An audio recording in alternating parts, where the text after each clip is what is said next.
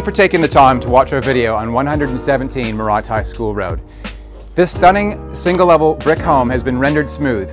It's one of my favorite homes in the area, and I'm not sure exactly why. There's so many good facets to the house. It's best you decide for yourself. For now, let's have a look inside. This gorgeous single-level home will grab your attention as soon as you pull up.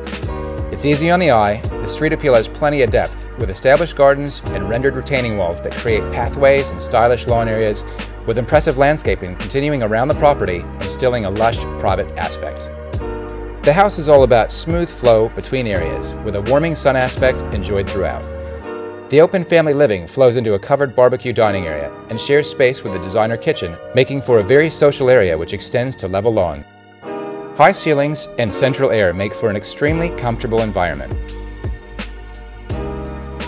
All four bedrooms are generous in size, but the master room is truly oversized and it's ready to impress opening onto its own private lawn.